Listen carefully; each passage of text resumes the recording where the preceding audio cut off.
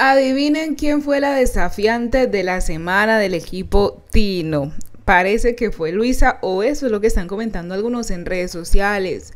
Pues el rendimiento de la barranquillera no ha sido de los mejores en estas últimas pruebas ya que gracias a ella el equipo Tino ha perdido gran ventaja y se ha llevado a la casa los cuatro chalecos de sentencia que van por el momento.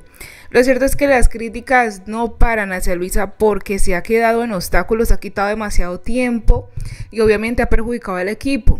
Y que era una de las principales que criticaba a los desafiantes, hacía cara, renegaba cuando no podían hacer algo y véanla a ella. Incluso tristemente termina llorando en las pruebas, pero Alejo siempre la consuela y le demuestra su amor.